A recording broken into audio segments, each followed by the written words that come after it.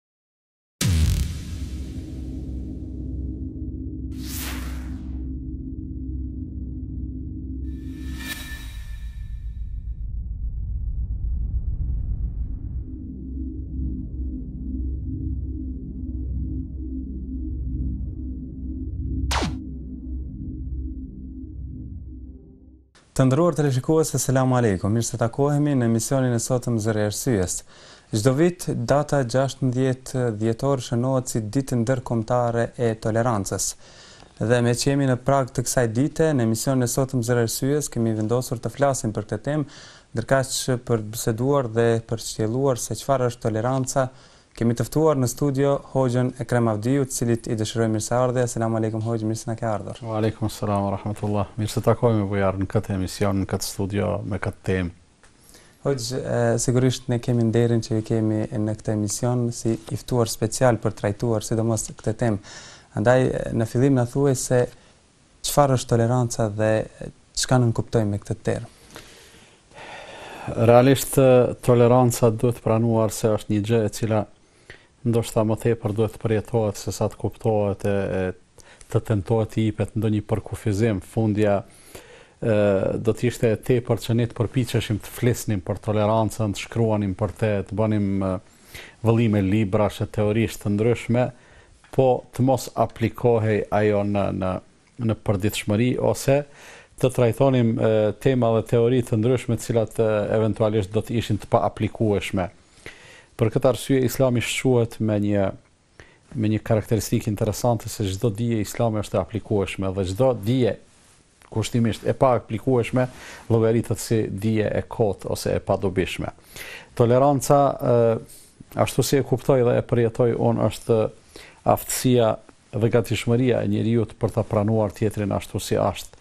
Dhe duke qenë se pikënisje e kësaj është ajo e natyrshmja e njeriut që nuk mund të rrijë vetëm, Allahu i Madhëruar e krijoi Ademin alejselam dhe e vendosi në Xhennet, ku s'ka më më bukur e më mirë se në Xhennet, megjithatë atij prapë nuk i rrihej vetë dhe Allahu i Madhëruar duke e parë nevojën dhe dëshirën e Ademit alejselam ia krijoi bashkëshorten e pastaj atyre të dyve u dhuroi fëmijë dhe kësisoj filloi të rritet lloji njerëzor. Me një fjalë njeriu si si si krijesë e Allahut fuqiplot ka nevojë për të tjerë të cilët e shoqërojnë, me të cilët e thyen monotoninë, me të cilët bashkëbisedon, kooperon, bashkëjeton, e, pastaj ndihmohet se shumë gjëra nuk mund t'i bëjë vetë e kështu me radhë. Dhe gjithmonë gjithmonë ai i cili qëndron përballë, pra gjithmonë ai tjetri është në një farë mënyre nën llupën tonë, ne e shohim e dëgjojmë, e vrejmë se si sillet, si vepron, si kështu me radhë, pritjet tona ndoshta në shumë raste mund të jenë shumë më të mëdha se sa mundësia, mundësia reale e atij që qëndron përballë neve, dhe në këtë rast në mungesë tolerance, realisht kur janë pritjet më të mëdha ne i vrejmë edhe të metat edhe gabimet dhe në mungesë tolerance ne mund ta refuzojmë atë njeri edhe pse gjendja e tij nuk ka ndonjë defekt. Defekti është tek pritjet tona. Dhe ne realisht nuk nuk jemi sa duhet të vëmendshëm edhe të vetëdijshëm se se si është ai tjetri. Pra, këtu vjen në pyetje toleranca, hoxhë. Po unë mendoj se zanafilla piknisja është këtu është zeroja.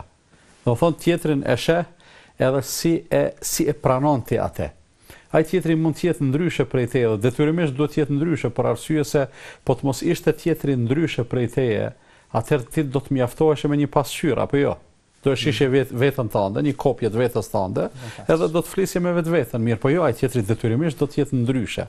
Ajo ndryshe gjithsesi mund të dallojë në në në cilësinë, në kualitet, mund të jetë më i mirë, në ndonjë aspekt mund të mos jetë më i mirë në aspekte të tjera. Po sidoqoftë në përgjithësi e vrem se ai tjetri me një fjalë kjo është gjendja reale e tij dhe si të këtill ti duhet ta si të këtill ti duhet ta pranosh. Dhe ashtu si është ai, e me një fjalë po e pranove dhe po u solle me te ashtu si është, atëherë unë mendoj se ti në këtë rast je je treguar tolerant. Përndryshe, përndryshe nëse ti insiston që ai tjetri të sillet sipas tekeve tua dhe dëshirave tua dhe ëndjeve tua dhe dhe asaj mënyrës se si ti e e, e ke vizatuar një hartë mhm. të jetës në në në mendjen tënde, atëherë s'ka dyshim se unë mendoj se këtu kemi të bëjmë me mungesë tolerance, për arsye se Zoti nuk e ka krijuar botën uniforme, ka krijuar në të diverzitet dhe ai diverzitet e bën e bën botën shumë të pasur, shumë të mirë, shumë të këndshme dhe njerëzit kësisoj duhet të të bashkëveprojnë me këtë diverzitet.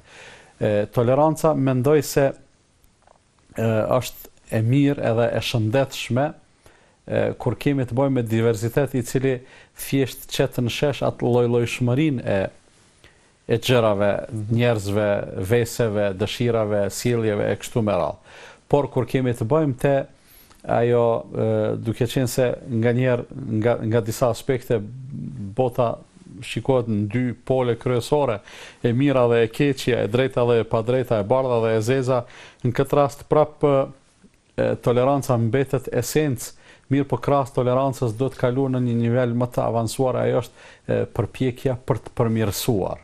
Kështu që e vrem për shembull prindi në relacion me fëmijët e vet, detyrimisht duhet të jetë tolerant edhe pse fëmijët shpesh herë mund të mos jenë në nivelin e pritjeve të prindit, ose si fëmijë që janë po e zamë në një moshë ata nuk dinë të flasin, në një moshë më vonë flasin mirë po ndoshta nuk kuptojnë gjithaq, në një moshë tjetër ata ia lejojnë vetes një ta quaj një sjellje e cila për të rriturin mund të jetë Në situata të caktuara edhe e papranueshme dhe në këtë rast mungesa e tolerancës së prindit me ata fëmijë mund të sjellë probleme serioze. Përderisa prindi i cili është i vëmendshëm edhe i vetëdijshëm për këto gjëra, e vrejmë se sillet me tolerancë. Dhe në këtë rast, kur kur toleranca është evidente, është prezente, atëherë edhe edhe tendenca ose përpjekja e prindit për të përmirësuar sjelljen e fëmijës të vet, për të investuar në në edukimin e tij, për të ngritur kulturën e tij, për ta mësuar atë në gjëra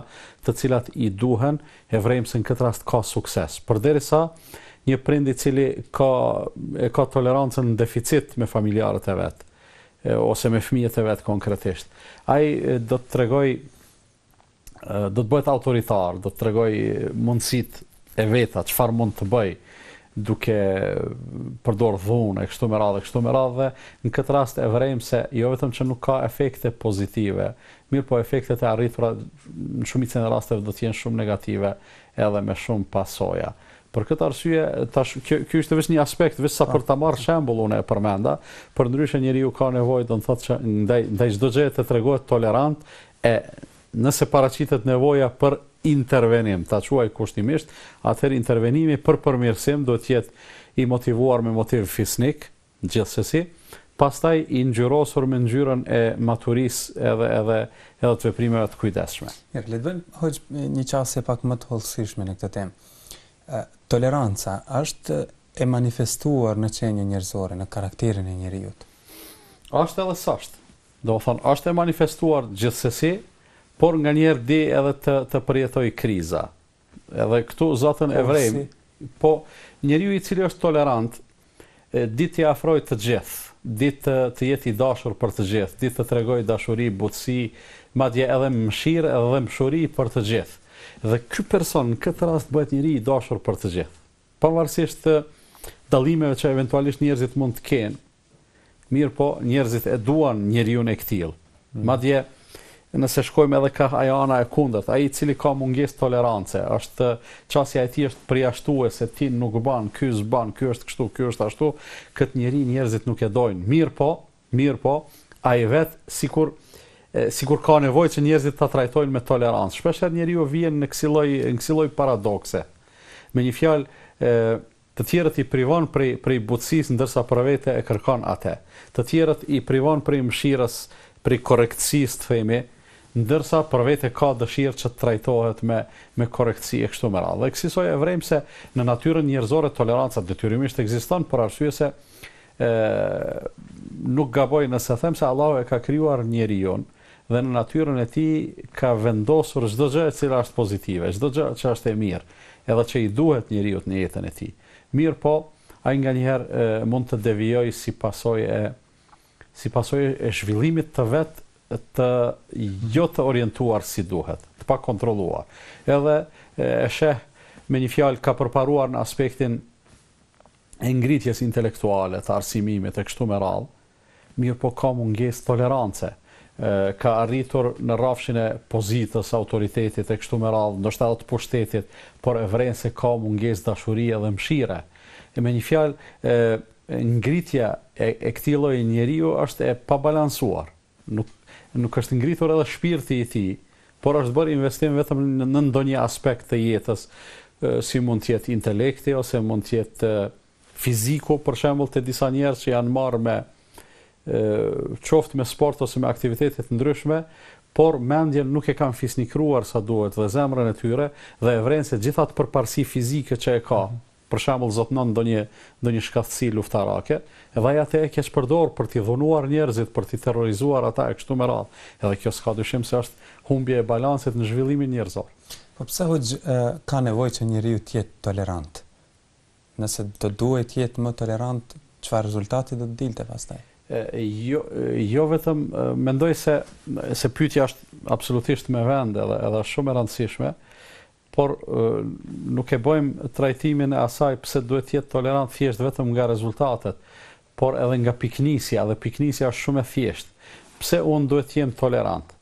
Vetëm nëse e njof veten time, edhe e di se unë vetë nuk jam perfekt. Nuk jam i pa të meta. Atëherë pse të kërkoj prej prej teje për shembull që ti duhet detyrimisht të jesh i përkryer? Me një fjalë, me automatizëm po po po u bëra unë i vetëdijshëm për për mhm. gjendjen time, për ë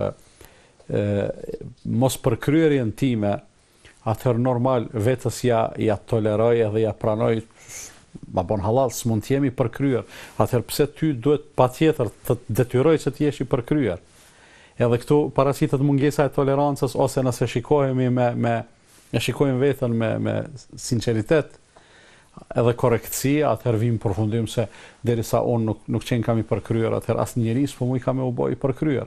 Derisa është kështu, atëherë unë toleroj njeriun aq sa ashtu si është.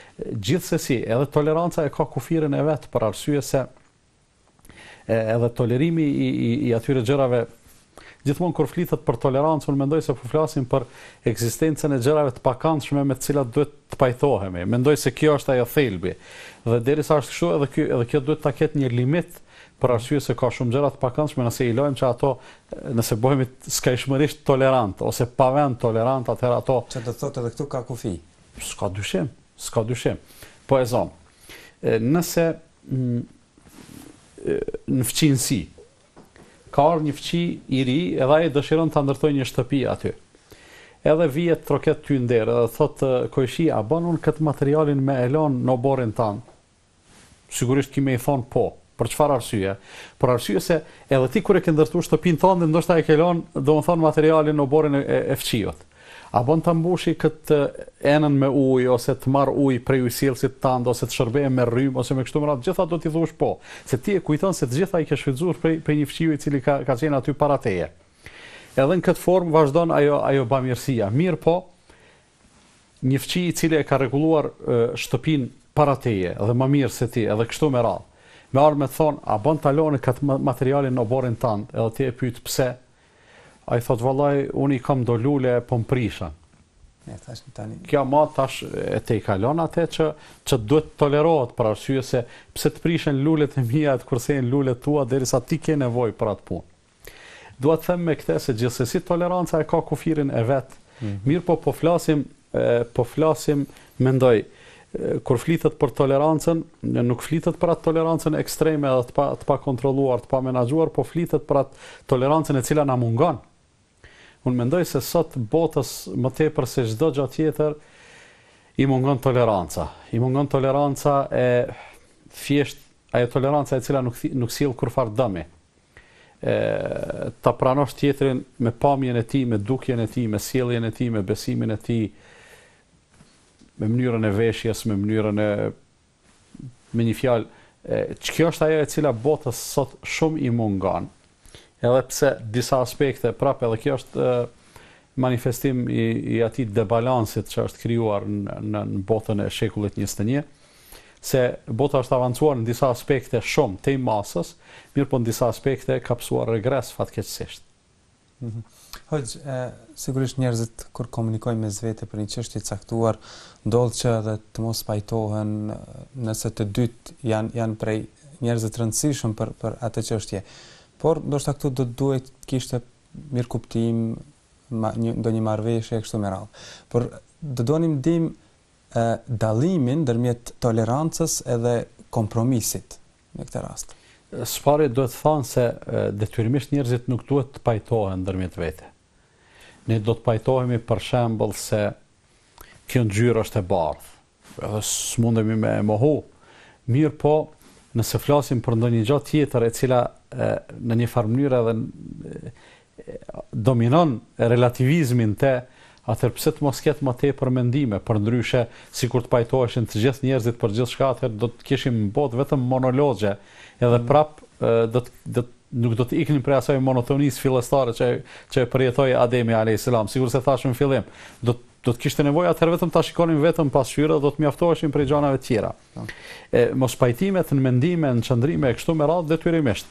Edhe toleranca duhet të jetë prezente, për arsye se po nuk po nuk qe tolerant, po nuk je tolerant, nuk mund të ta dëgjosh tjetrin duke folë, pavarësisht qëndrimi i tij ose mendimi i tij, është i qëlluar apo është gabim. Së paku, ti ke nevojë ta dish cili është qëndrimi i tij. Po nuk pate tolerancë ta dëgjosh, edhe nuk nuk do e marrësh vesh asnjëherë. Po patëm qëndrime të kundërta rreth një çështje të caktuar, rreth një gjykimi të caktuar e kështu me radhë, atëherë në situata të ndryshme më e mira është të gjindet ajo që është më e sakta dhe më e qëlluara, mirëpo në pamundësi për të arritur deri te ajo. E kur them pamundësia, nuk është thjesht veç pse nuk dihet edhe nuk kuptohet, mirëpo nganjëherë bëhet e pa e pa e paaplikueshme, atëherë në këtë rast gjithsesi kompromisi është zgjidhje, edhe pse duhet patur parasysh se kompromisi kurrnjëherë nuk ka qenë edhe edhe nuk do të jetë zgjidhja ideale. Për arsye se kompromisi gjithmonë nënkupton një zgjidhje përafërsisht mesatare në mes dy qëndrimeve e Nuk është patjetër se ai mesi mes dy qëndrimeve është i saktë, ngase nganjëherë kemi dy qëndrime, kur njëri është i saktë, tjetri është gabim. Edhe tash e, e, e qëlluara është këtu, te e sakta mirëpo në pamundësi për me e binde edhe këtë palën tjetër me ardhë këtu, duhet me i ra dikun në mes. E në këtë rast kompromisi është zhvendosje prej asaj që është e saktës, mirëpo paksim edhe zvoglimi i asaj që është e pasaktë në këtë rast. Mm -hmm. Po, Ku manifestohet më shumë toleranca ndër njerëzit? Ku ka, ku ka bashkëjetesë, ku ka bashkëpunim, ku ka shoqërim, toleranca është e pa, e pazëvendësueshme. Në çdo gjë, pra, në çdo, çdo hapësirë që e ndajnë dy apo më shumë njerëz ndërmjet vete, ajo hapësirë ka nevojë që të, që të jetë e mbushur me tolerancë. E kjo ku? Gjithku. Duke filluar prej familjes. Dy bashkëshortë, që bashkëjetojnë me vite, me dekada, me me një fjalë shumë, ata mos me qenë toleranca, ata kurrnjëherë nuk mundën me vazhdu jetën e, bashk, mhm. aq gjatë. Për çfarë arsye? Për arsye të thjeshtë. S'pari as njëri prej dy bashkëshortëve, as burri as gruaja nuk janë të përkrymë. Pastaj nuk janë të pagabueshëm. Pastaj kanë kalu nëpër situata të ndryshme ku gjithmonë, e e kam fjalën për situatat e e jashtëzakonshme, jo për ato normale dhe të kënaqësisë edhe kështu me radhë. E, gjithmonë njëri ka pas drejt, njëri s'ka pas drejt. Mirëpo ai që ka pas drejt, ë kur ky ka qenë më këmbëngulës ai ka lëshu pe, ka qenë më tolerant edhe kësisoj në një farë mënyre bashkëshortët ia, sikur them, ia gëlltisin njëri tjetrit ato edhe kurrnjëherë nuk nuk i nuk e matin njëri tjetrin nuk e qesin në peshore dhe kjo është shumë e rëndësishme mm. do thon toleranca nuk të lën nuk të lën me i qit gjanat në peshore për arsye se gjanat në peshore kur qiten atëherë dikush detyrimisht ka me u nda i pakënaqur mm. tash kjo këtu është e nevojshme toleranca edhe prej kësaj Prej këtij çifti lind familja, fëmijët, vazhdon nevoja për tolerancë me fëmijë, e përmenda më herët si shembull, dallimin në mosha, dallimin në perceptime, dallimin në rrethana, nuk janë rrethanat e njëjtë kur kemi qenë ne fëmijë edhe kur janë tash fëmijët tanë fëmijë, absolutisht ndryshe janë rrethanat edhe edhe duhet të përpjekë njeriu që t'i kuptojë ato. Mos flasim për kolektive të ndryshme, mos flasim për për qarqe dhe rrethe të ndryshme, shoqëri të ndryshme, nxënësit, studentët, ata që punojnë bashkë në një vend pune e kështu me radhë, domethënë gjithkund duhet të. Edhe kjo shkon duke u rritë, edhe duke u zgjeru derisa i tërë njerëzimi ka nevojë që të jetë tolerant për për pjesën tjetër të njerëzimit. Për shembull, kur kemi mungesë tolerance ose kur kemi pas mungesë tolerance mes racave, ka lindë racizmi, mungesë toleranca, mungesë tolerance rreth në mes popujve dhe etnive, lind shovinizmi, lindin gjithë ato ato ide shkatërruese të cilat vërtet tek njerëzimi kanë lënë gjurmë edhe pasoja shumë shumë të rënda. Duhet të ketë sigurisht se duhet të ketë hoxhë tolerancë edhe ndërmjet besimeve të ndryshme e kështu me radhë, por unë do të ndalesha tek promovimi i tolerancës në Islam. Çfarë është? S'ka dyshim që duhet të ketë tolerancë edhe ndërmjet besimeve, dhe ajo tolerancë është tash kur flasim për Islamin dhe për atë jam i thirrur që të flas.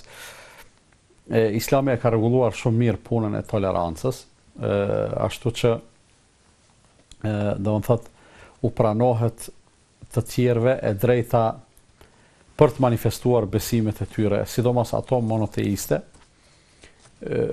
Kur them u pranohet, domethënë është çështje e cila mbetet në mes mes tyre dhe Zotit dhe çdo gjë që është në mes filanit dhe Zotit, unë nuk kam drejt me u përzi aty. Çka do të bëjë Zoti me ta është tjetër muhabet. Mirëpo, unë absolutisht nuk kam që po e marr një shembull shumë të thjeshtë, po e lëm tolerancën mes besimeve.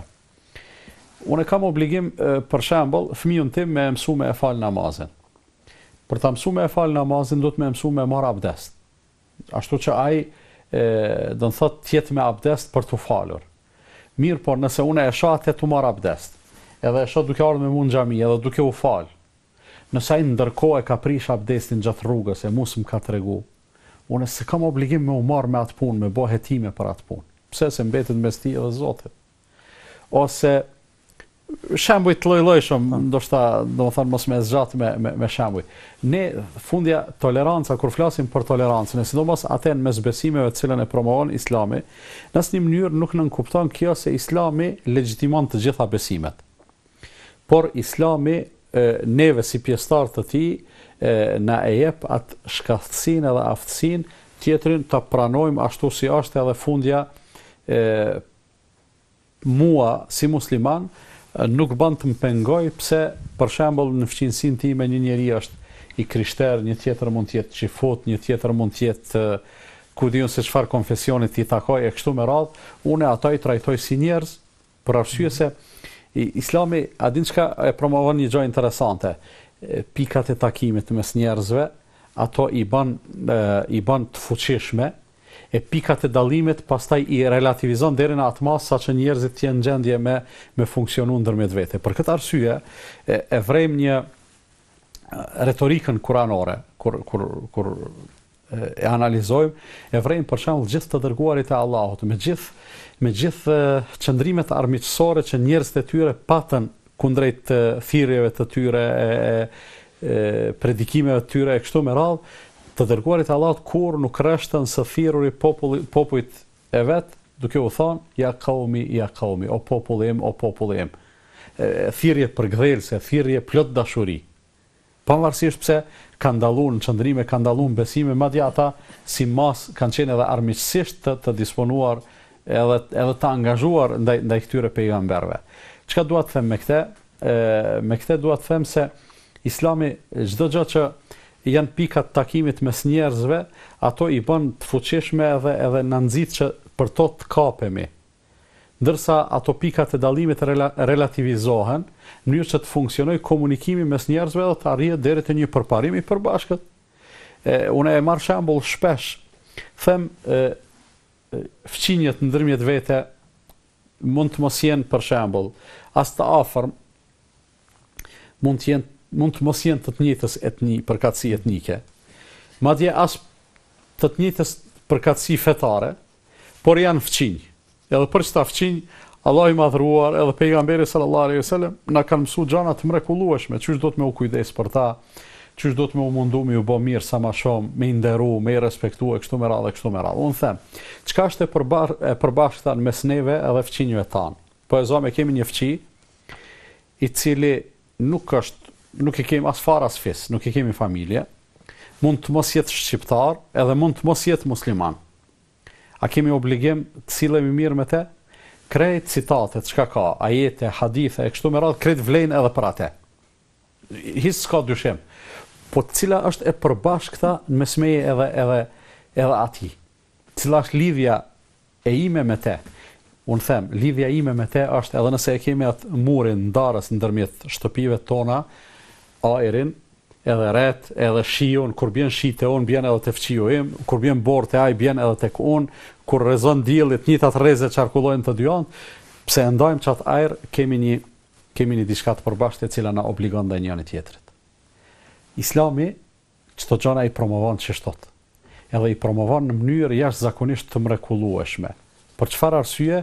Për arsye se Islami në asnjë mënyrë nuk insiston që t'i armiqësojë njerëzit. Islami insiston që t'i miqësojë njerëzit madje madje edhe kur ata kanë dallime ndërmjet vete. Dallim mund të jetë Pamja, raca, ngjyra e lkurës, gjuha, mund të jetë dallim, edhe është dallim i madh realisht, mirëpo absolutisht ngjyra e lkurës nuk e bën një njeri më të mirë ose një tjetër më më të keq. Sjelljet edhe edhe gjestet edhe ato që njeriu realisht ka ka ka mundësi me i zgjedh. Se ngjyrën e lkurës as ti nuk e ke zgjedh me qenë i bardh, as ai i Afrikës nuk e ka zgjedh me qenë i zi. Për këtë arsye ti nuk je më superior edhe ai nuk është më inferior. Por, ti ki mundësi me i zgjedhë sjelljet tua dhe qëndrimet tua, sikur ka mundësi edhe ai, edhe, edhe këtu është përgjegjësia. Dhe Islami pra i miqëson njerëzit duke i lidhë me ato gjëra, të cilat vërtet mund mund t'i quajmë pika takimi, pika takimi, pikat e ndarjes edhe pse mund të jenë shumë të rëndësishme, nganjëherë i relativizon sikur është rasti te fqinjësia që e përmenda, ndarje mund të jetë përkatësia e fesë edhe e besimit, nuk është e parëndësishme, është shumë e rëndësishme, mirëpo në këtë rast te fqinjësia relativizohet ajo. E kur jemi hoxhë tek sjellja, tek manifestimi i tolerancës, duam të dimë se praktikisht si ishte Muhamedi alayhis salam në raport me njerëzit kur bëhet fjalë te toleranca. Tash unë mendoj se na ke qit në një në një fushë ku shumë kohë nuk do të na mjaftonte për të sjellë vetëm shembuj. Po megjithatë duke e patur parasysh konfliktin që e kemi me kohën, unë do të përpiqem që të vetëm ta ilustroj me disa shembuj. Muhamedi sallallahu alaihi wasallam është është shëmbëlltyra e e legjitimuar hyjnisht për çdo gjë të mirë. Allahu i Madhëruar ka thënë se në te e keni shëmbëlltyrën më të mirë. Për çka? Për gjithçka. Edhe toleranca është ana e tij e fortë, pozitive sigurisht dhe atë e hasim të manifestuar në të gjitha në të gjitha ta quaj Në të gjitha paraqitjet e tij, në të gjitha kontaktet e tij me njerëz, me të gjitha grupmoshat, me të gjithë njerëzit të afërm edhe të largët, mos të flasim me me familjarët, për shembull, këtë xhuma kam fol se sa tolerant ka qenë pejgamberi sallallahu alaihi wasallam me familjarët e tij, me bashkëshortet e kështu me radhë, me fëmijët, E, kur falej, namaz, mendoj të gjithë e dimë, binte në sexhde dhe fëmijët i hypnin në shpinë. Dhe një herë ka ndodhë që e ka zgjatë sexhden aq shumë sa që njerëzit pas tij në namaz kanë fillu të brengosen, çka i ndodhi që s'po çohet prej sexhdes, derisa njëri e ka ngrit, e ka ngrit kokën edhe e ka pa se i ka hyp nipi në shpinë.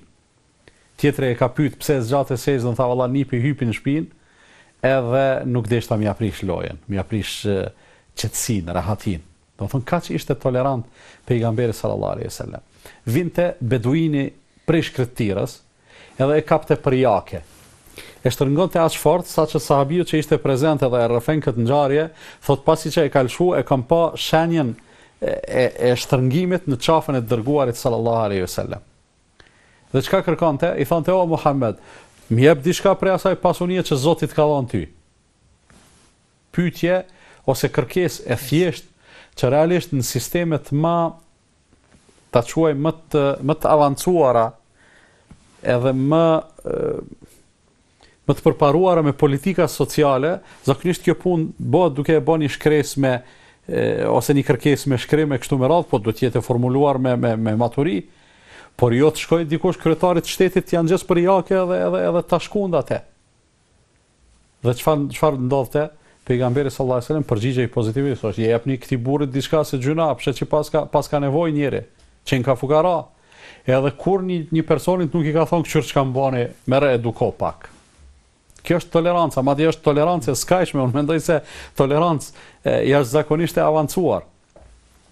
Toleranca e Muhamedit sallallahu alaihi wasallam pra vjen në shprehje në të gjitha në të gjitha gjërat, në të gjitha komunikimet, në të gjitha në të gjitha kontaktet e tij me njerëz.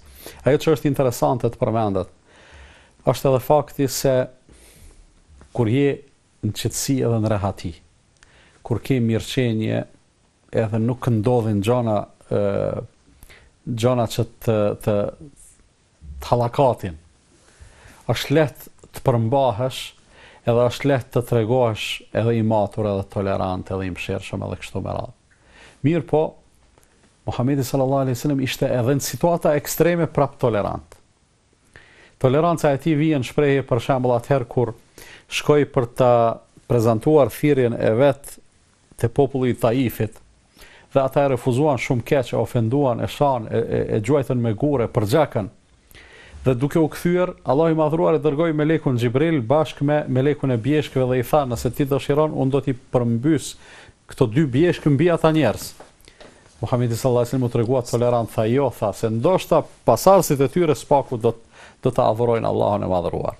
E njëjta gjë ndodhi edhe atëherë kur Muhamedi sallallahu alejhi ve sellem triumfalisht hyri në Mekë, u kthye në vendlindje si triumfues me një ushtri të fuqishme prej 10000 luftarëve dhe e çliroi Mekën pa luftë, pa gjakderdhje, i mblodhi gjithë njerëzit në një shesh dhe u tha, Çka mendoni ju se do të bëj unë sot me ju? Ata ulën kokat edhe thanë, Ti je një njeri i mirë, na dimë për njeri të mirë. Tha, Shkoni se të gjithë jeni të amnistuar, të gjithë jeni të falur.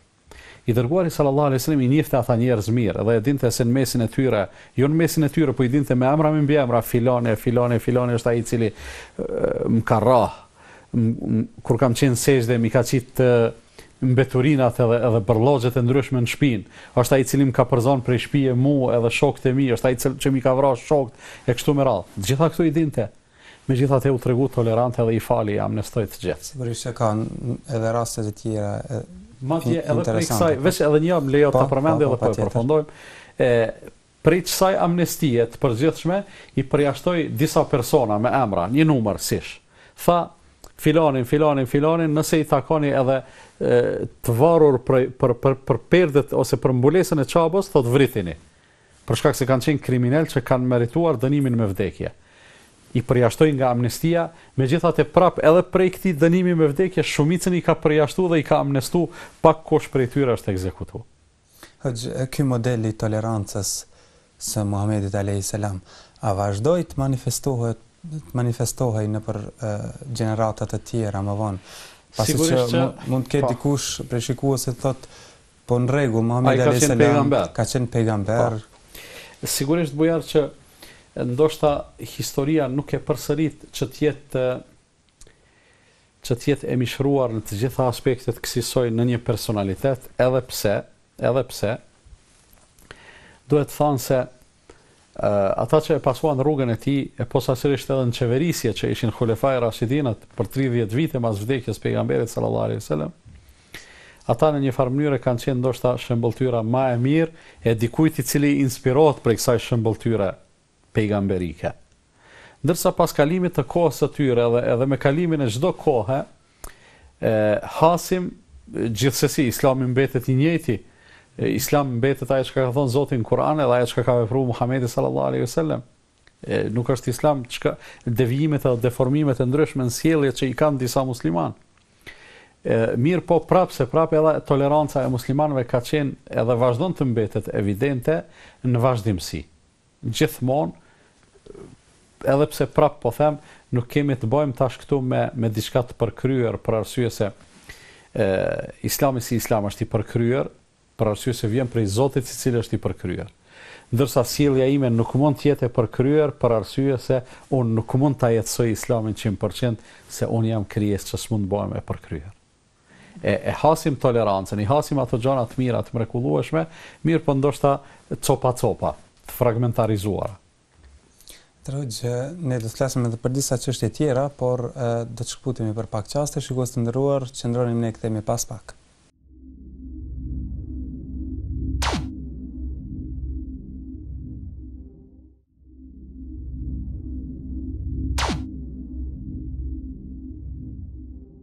U rikthyem shikues të nderuar për të vazhduar bisedën lidhur me temën që kemi zgjedhur të flasim sonte me Hoxhën Ekrem Avdiu, pra po flasim për tolerancën.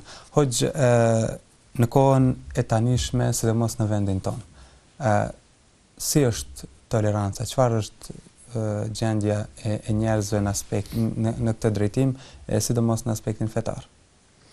Duhet të them edhe ishte shumë e rastësishme që e thashë te muslimanët është në një farë mënyre e fragmentarizuar toleranca, edhe pse është evidente, por te një lider e hasim në një aspekt e dikush tjetër në një aspekt tjetër e kështu me radhë. Tani më duhet të them se toleranca në aplikim është një mozaik i tërë të cilin e përbëjnë katrorë të vegjël, edhe s'ka dyshim se mungesa e cilitdo prej atyre katrorëve atë mozaik e bën më pak të vlefshëm, e bën më të zbehtë, më jo në dukje të bukur.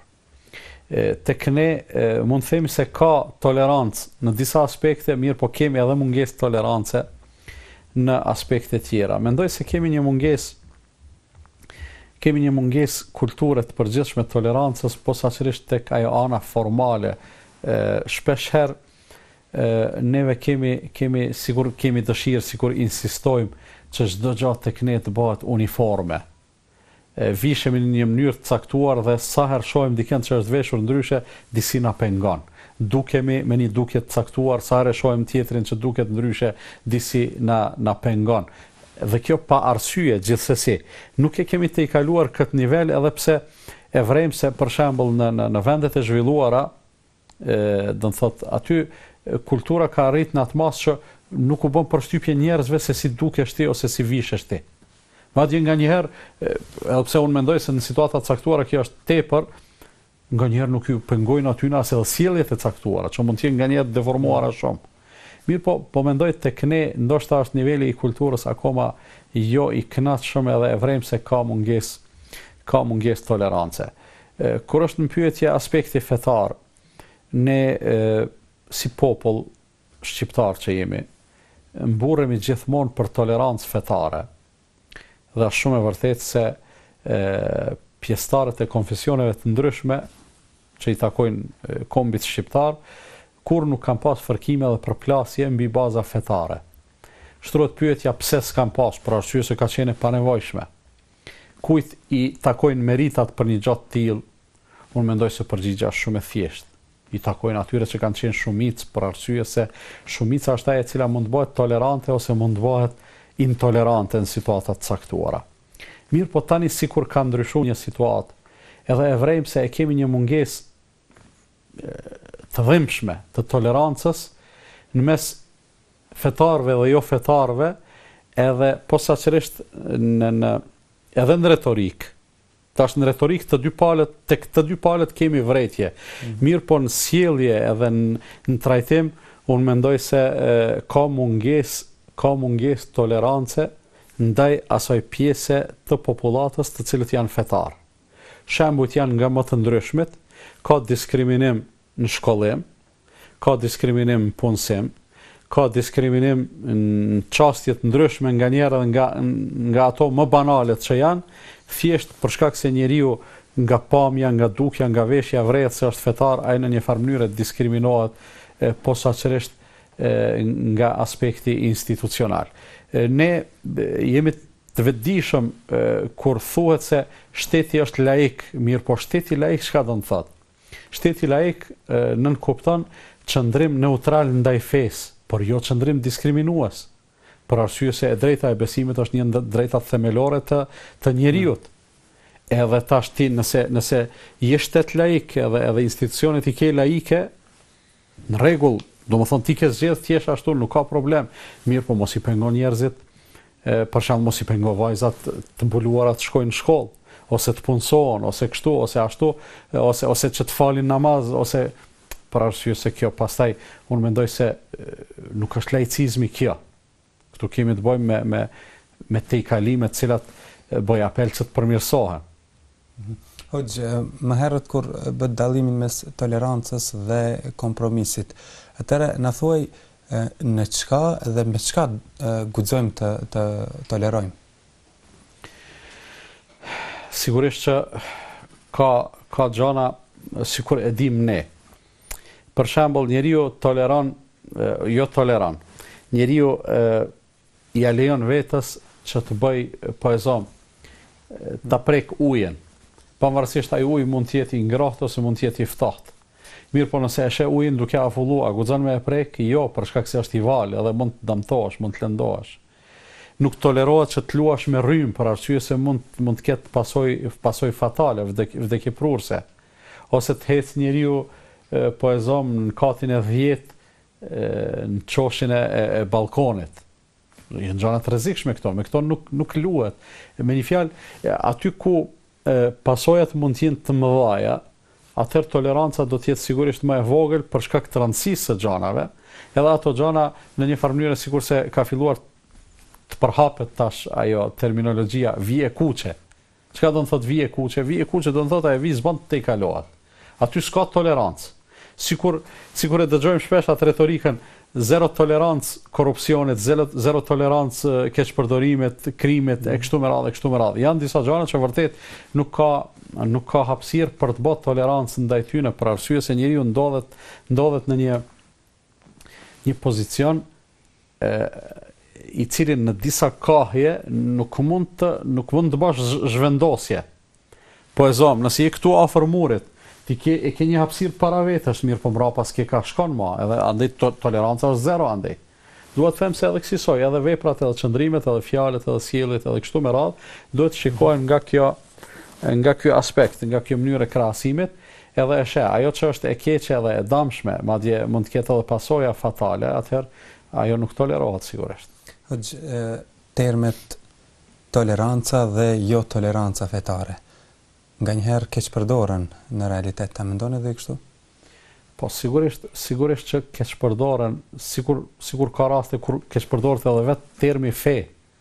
edhe besim. Ka keqpërdorime, pastaj ka keqpërdorime edhe te toleranca dhe jotoleranca, ka keqpërdorime edhe te drejtat e njeriut, edhe te ajo, edhe te ajo, edhe fatkeqësisht, do të thotë, sot e, sinqeriteti edhe korrektësia mund të themi se janë në deficit. Dhe për këtë arsye e lind dëshira e dikujt për të keqpërdorë me me gjana fisnike, me shprehje të mira, sikurse është toleranca, por e përdor atë në në në drejtimin edhe kahjen e gabuar. Dhe nganjëherë ndodh që në emër të tolerancës edhe të shkelen edhe të drejtat e njeriut. Kjo e bën pastaj këtë punë akoma më të dhimbshme. Paramendon me të thënë me të thënë dikush unë ty po të rrehi edhe po të dhunoj po për të mirën tënde e kam. A din kjo mundet dikush me të thënë valla po të rrehi se unë jam i keq. Edhe ti thua hajt s'ka gajle, masi pe pranon që je i keq do ta duroj edhe dajakun e tij, mirë po po të rrehi se unë jam i mirë. Po për të mirën tonde është kjo, unë mendoj se kjo pastaj bëhet akoma më e dhimbshme. Dhe të martën po shënohet dita ndërkombëtare e tolerancës, a mendoni se e gjithë bota ka nevojë për më shumë tolerancë apo vetëm vendi ynë? Jo, unë e thash se e gjithë bota në këtë shekull ajo që i mungon më së tepërmi është toleranca dhe mendoj se shembujt janë të panumërt që e manifestojnë mungesën e tolerancës, mirëpo duke qenë se neve fundja ajo çka ndodh në botë edhe është keq gjithsesi na dhemb edhe edhe s'kemi dëshirë me ndodh por kur ndodh afër neve edhe në vendin tonë edhe i ndodh popullit tonë ajo na dhemb më tepër edhe për këtë arsye brengosemi më tepër unë mendoj se tek ne ka nevojë për tolerancë edhe do të thoja se nuk është mirë që bota të shënojë një ditë të tolerancës por bota do të ishte mirë që gjithë vitin t'ia kushtonte tolerancës. E mirë, s'prish punë një ditë me bo manifestime për vetëdijësim, se pastaj nevojat po janë të mëdha për vetëdijësim edhe në fusha tjera. Hoxhë, faleminderit për pjesëmarrjen tuaj në këtë emision. Ishte kënaqësi dhe obligim. Të nderuar teleshikues, këtu po e përmbyllim emisionin e sotëm Zëri i Arsyes. Faleminderit që na ndoqët, mirupafshim emisioneve të tjera. Selam Alejkum.